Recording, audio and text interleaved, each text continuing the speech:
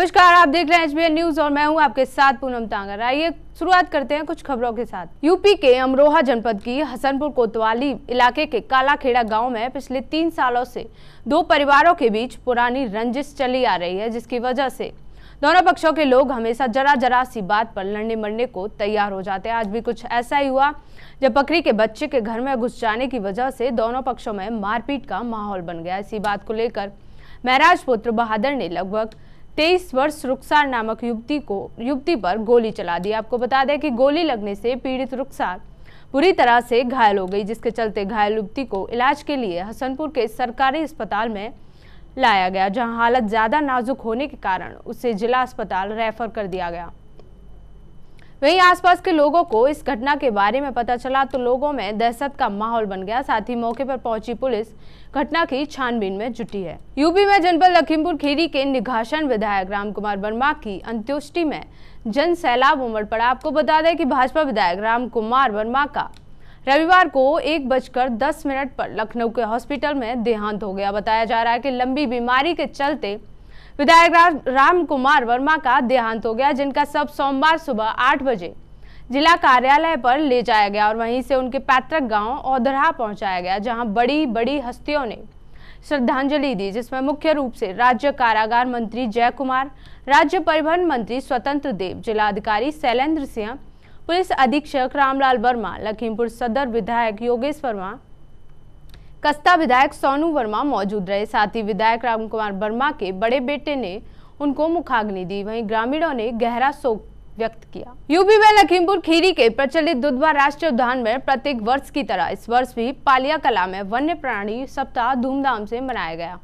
बताया जा रहा है कि इस अवसर पर Dudhwa national park F Ramesh Pandey एवं उप निदेशक महावीर कोचलगी के द्वारा हरी झंडी दिखाकर रैली को वन मुख्यालय पालिया कला से रवाना किया गया। वन्य प्राणी सप्ताह मनाने का प्रकृति से लगाव और वन्य जीवों के प्रति प्रेम भावना जागृत करना है। आपको बता दें कि प्रत्येक वर्ष के अक्टूबर के प्रारंभ होते ही दुधवा नेशनल पार्क में वन्य प्राणी सप्ताह मनाया जाता है, जो कि पूरे सप्ताह दुधवा राष्ट्रीय उद्यान में चलाया जाता है, जिसमें बच्चों से प्राकृतिक और वन्य जीवों के संबंध में प्रतियोगिताएँ भी की जाती हैं।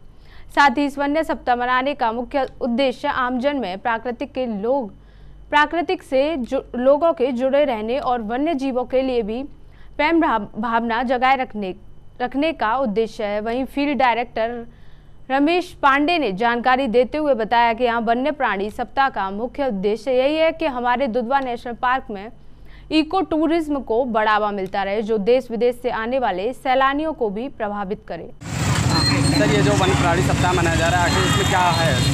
जानकारी। वन्य जीवों की सुरक्षा और उसके संरक्षण को आम जन भावना के बीच में पहुँचाने के लिए, बच्चों को अवेयर करने के लिए, स्थानीय जनता को इसमें इन्वॉल्व करने के लिए पूरे देश में अक्टूबर के प्रथम सप्ताह में वन्य जीव प्राणी सप्ताह मनाया जाता है। और हम आज यहाँ पे दुधवा में एक विशाल बच्चों की रैली कर रहे हैं। जिसमें प्रेप जो बच्चे अभी एक कक्षा में नहीं गए उनसे लेके इंटरमीडिएट तक के विद्यार्थियों को जिसमें स्काउट और एनसीसी के बच्चे भी शामिल हैं। हमारा स्थानीय स्टाफ यहाँ के स्थानीय जनता, गणमान्य व्यक्ति टूरिज़्म से जुड़े हुए व्यक्ति स्वयंसेवी संस्थाओं से जुड़े हुए व्यक्ति, जो हमारे नेचर गाइड हैं, सबको सम्मिलित करके हम एक विशाल रैली बलिया में निकाल रहे हैं। कृषि विभाग द्वारा किसानों को जागरूक करने के लिए रचनात्मक जागरण, जन जागरण अभियान चलाया गया। इसी दौरान आज विसौली नगर के मदन लाल इंटर कॉलेज में पोस्टर प्रतियोगिता का आयोजन किया गया, जिसमें कॉलेज के विद्यार्थियों ने प्रतिभाग लिया, जिसके चलते किसान भाइयों ने अपशिष्ट पदार्थों को न जलाने और पर्यावरण प्रदूषित न करने की हिदायत भी दी। साथ ही वीडियो इस्लाम नगर भीमसेन ने बताया कि पोस्टर प्रतियोगिता में प्रथम स्थान पाने वाले को दस हज़ार द्वितीय स्थान पाने वाले को सात हज़ार पाँच सौ व तृतीय स्थान पाने वाले को पाँच हज़ार रुपये का पुरस्कार भी दिया जाएगा।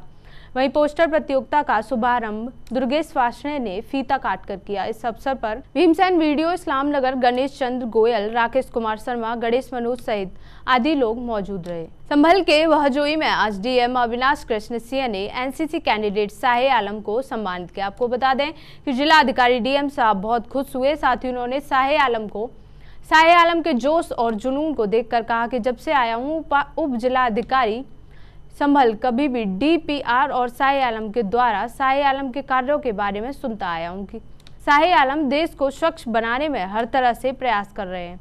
और तो और कल की जो स्वच्छ भारत की लघु फ़िल्म है, वो मेरे दिल को छू गई। वहीं डीएम अविनाश कृष्ण सिंह ने कहा कि यह सच है कि देश को ऐसे युवाओं की ज़रूरत है जो देश के लिए हमेशा किसी भी समय तैयार रहते हैं। एच के इस बुलेटिन में बस इतना ही। देश और दुनिया की तमाम खबरों के लिए बने रहिए एच न्यूज़ के साथ। नमस्कार।